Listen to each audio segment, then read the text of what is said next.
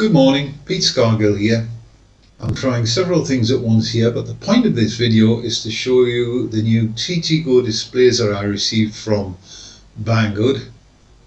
I'm trying several new things at once, including two Logitech cameras um, and OBS Studio, none of which I'm familiar with using together. However, in for a penny, in for a pound. It's freezing cold in Spain here, which is why I'm wearing a t-shirt. It's sunny, so outside it's as warm as toast, but in here in my office it's actually freezing cold. So the illusion of midsummer just disappears with the uh, the jacket. However, that's another matter. Um, TTGo display. This is what arrived this morning. I got two of these.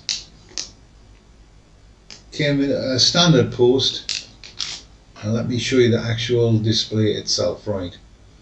Now this display I fitted these connectors on the edge the two edge connectors. You also get um, a little power lead as well. But for demo a demo like this don't need it. All you need is the USB-C connector. So the ESP32 powered TTGo there it is, three buttons. That will be programming button, reset button, and I have no idea what that one's for. If we just have a look at this in the camera as best as I can, you may or may not be familiar with the pins on the ESP32, kind of like an ESP8266, but more pins and Bluetooth, which I'm not using here. Uh, on the reverse side, the ESP32 itself,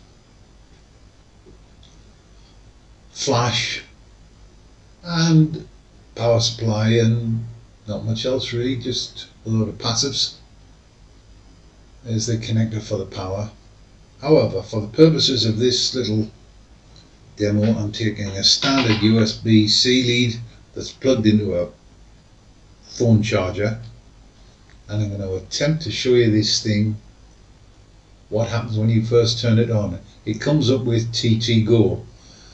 Looks a lot better than you see here. And then it goes through a sequence of colors. And that's about it. That's what you get for the standard demo as far as I can tell. Tell you what, why don't I try pressing that button? It's just gone off. Oh, it's just rebooting again. There you go. TT Go, Hey, that looks quite good. I've uh, used an awful lot of black and white OLED displays, but I've never actually used a really neat full color one like this. The density of the colors here is really not going to show up in this video, but they're just beautiful.